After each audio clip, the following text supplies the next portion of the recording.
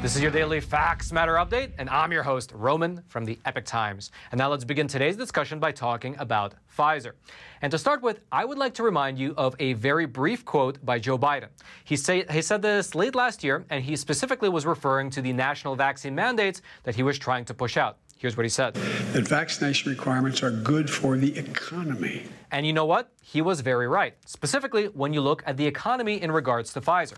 That's because, according to Pfizer's latest filing with the SEC, their COVID vaccine has brought them an unprecedented $36.8 billion in sales.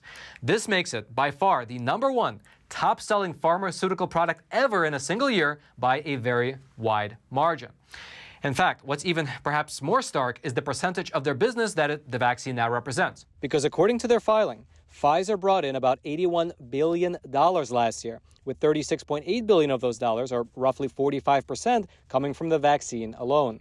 I guess it doesn't hurt when the populations of the entire world are quite literally being forced by their governments to take your product. I guess you can call that a form of demand and supply. Regardless, moving forward, Pfizer expects that this year, meaning 2022, their vaccine will generate another $32 billion worth of sales, and their new COVID pill, which was just approved by the FDA in December, is expected to generate an additional $22 billion of revenue. And then likewise, it appears that Pfizer is looking to take their mRNA technology and expand it even further. That's because Mr. Albert Bourla, who is Pfizer's CEO, he said that his company is planning to aggressively expand the use of mRNA technology, which is of course the same technology that's used in their COVID vaccine, to treat rare genetic diseases of the liver, different muscles, as well as the central nervous system. And then furthermore, Mr. Bourla also said that Pfizer is hoping to reduce the time frame to produce new vaccines, saying that he's trying to get it from about three months to just two months. And he's doing this by, among other methods, exploring a collaboration with another company, one that's called Codex DNA, in order to automate and produce mRNA. Here's specifically what he said during an interview on CNBC. We have a very strong belief that the mRNA is a very powerful technology. All we do, it is trying to harness this technology for for the best of mankind. So there are three more deals that we have announced, including a very important one with the Beam. Beam is a leader in the base gene editing technology. We did a lot of due diligence and we believe that the base technology is a technology that has the most promise in gene editing. And I wouldn't underestimate also the agreement that we did with Codex. Codex has a technology that you can produce DNA not through biological means, which is how we're doing it right now when we are working with, for example, with our vaccines against COVID COVID, but with this chemical. This means that you can reduce the time of producing a very essential part of the overall manufacturing process for RNA vaccines from almost a month to a couple of days. I guess we'll just have to wait and see whether any of their new vaccines that will be using this new type of technology will become mandatory for us Americans as well. I'm sure that will be a big boon to business if they do. Regardless, though, besides all of these positive developments, well, Pfizer is also facing some potentially serious headwinds. To start with, despite the fact that they are clocking in record sales, with their 2022 projections just for their COVID products alone being about $54 billion, well, apparently that is not enough. That's because these astronomical projections actually fell short of what Wall Street analysts expected, and therefore Pfizer stock fell by about 5%. Then, to make matters a bit worse for at least the Pfizer investors, just yesterday, the FDA decided to push back their decision on whether or not to allow kids younger than the age of five to get the Pfizer vaccine. The FDA's reasoning was that the young kids who were part of Pfizer's clinical trial had such a low number of COVID cases overall that made evaluating the data extremely difficult. Now, specifically, what Pfizer did in that clinical trial was they took children between the ages of six months to four years of age and they gave them a two dose regimen of the vaccine. However, again, because symptomatic COVID is so rare in this particular age group, the FDA determined that the data was not enough for emergency use authorization. Here's specifically what Dr. Scott Gottlieb, who used to be the commissioner of the FDA, but who now sits on Pfizer's board, here's what he said regarding the decision. Since there's a low number of cases overall in the clinical trial, most kids are not getting symptomatic COVID, one case in one direction or another can tip the perception of the vaccine's overall effectiveness. And so, not getting this authorization is likely going to cost Pfizer millions of dollars in potential vaccine sales. Just for your reference, in America, there are about 24 million kids who are below the age of five. So that could have been a lot of money. However, not all hope is lost in this direction because according to Dr. Peter Marks, who is the current director of the FDA Center for Biologics Evaluation and Research, he said that Pfizer needs to keep conducting their clinical trials with these kids, specifically by seeing whether a three-dose regimen of the vaccine does anything. Here's specifically what he told reporters. The data that we saw made us realize that we needed to see data from a third dose, as in the ongoing trial, in order to make it the term determination that we could proceed with doing an authorization. Okay, so that was the first and second headwinds that Pfizer is facing. Now, the third headwind has to do with the Pfizer whistleblower, specifically about how, after a full year, the U.S. federal government has chosen to not help a whistleblower in her lawsuit against Pfizer. And so now, this whistleblower is pushing ahead with her case by herself. Now, in order to understand what's actually happening with this case, let me lay out the details for you. Late last year, you might remember that a whistleblower came forward, specifically a whistleblower who worked within one of the subcontractors who was involved in Pfizer's clinical research. Now, that subcontractor in question, it's called Ventavia Research Group, and they operated several of the sites for Pfizer's phase 3 vaccine trials back in the fall of 2020. They were one of the companies which ran the clinical trials that eventually led to the emergency use authorization being granted for the Pfizer vaccine. However, according to Ms. Brooke Jackson, who worked as a regional director for this company during that time, she told the British Medical Journal that the trial was riddled with many issues, including the falsification of data, unblinded patients, as well as very large delays in following up on adverse reactions. Here's specifically what she told the British Medical Journal. Quote, the company falsified data, unblinded patients, employed inadequately trained vaccinators, and was slow to follow up on adverse events reported in the pivotal phase 3 trial of the Pfizer BioNTech vaccine. She further said that she brought up these problems with her superiors at the company, but she says that she was ignored and the company took no corrective actions. And so she instead emailed her complaints over to the FDA. However, she said that just within hours of alerting the FDA to what was happening, she was fired. She blew the whistle to the FDA, and then a few hours later, she was let go. And then furthermore, it appears that the FDA did not even follow up with her complaints. They seemingly ignored her.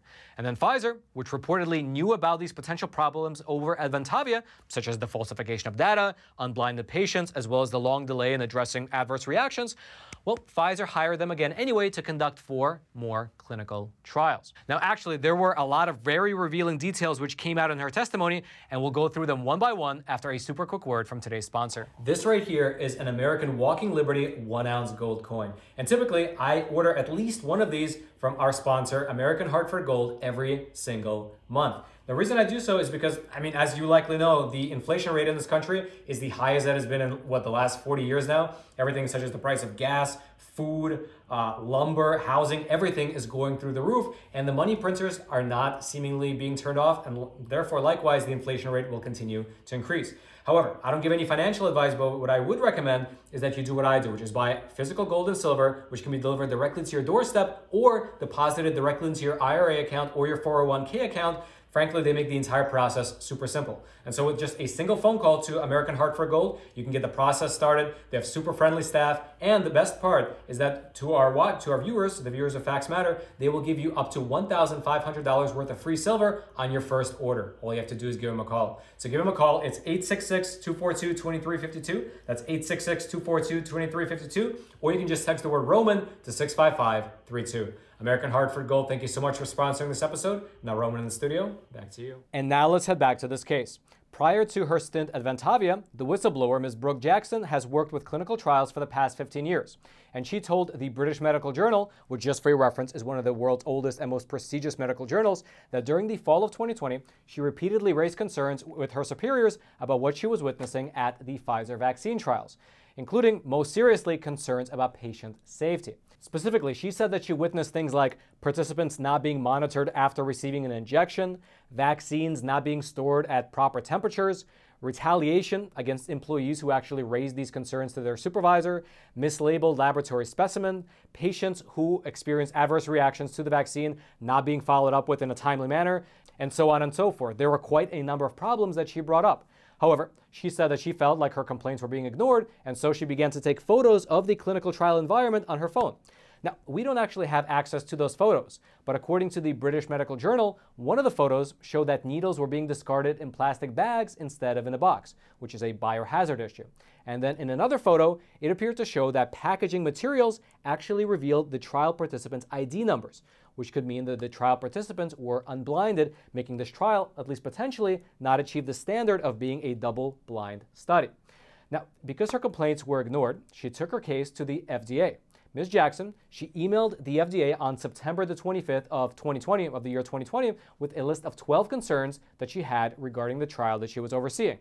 And although the FDA acknowledged that they received her list, nothing really came of it. Apparently, they did not start any sort of an investigation.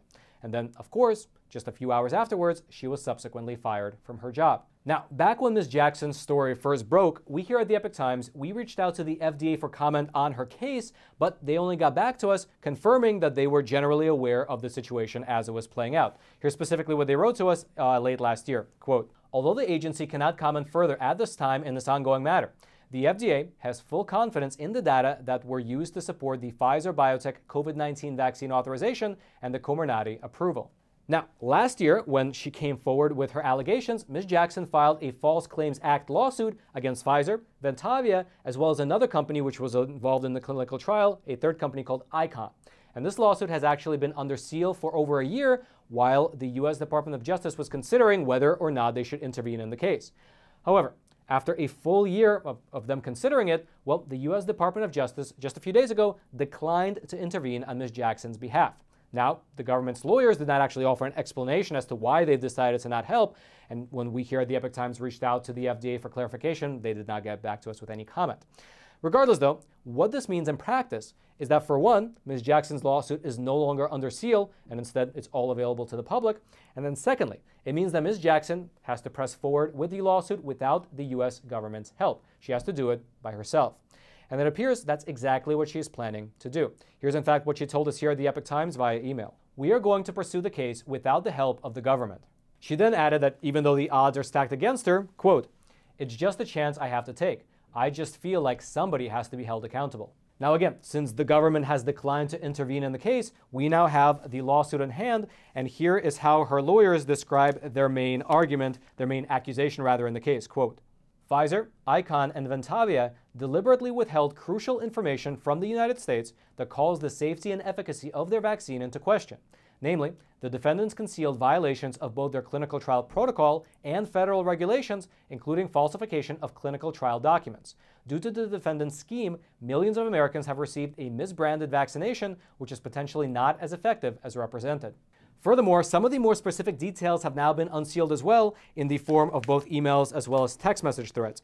And some of these emails, they actually detail some of the alleged problems with these clinical trials, which were, by the way, observed not only by Ms. Jackson, but by other Ventavia workers as well. As an example, a woman named Lavika Downs, she wrote an email on September 18th of 2020, which was addressed to Ms. Jackson and another employee, that she, quote, observed boxes containing patient information left on the counter fully exposed to anyone that entered the room could see.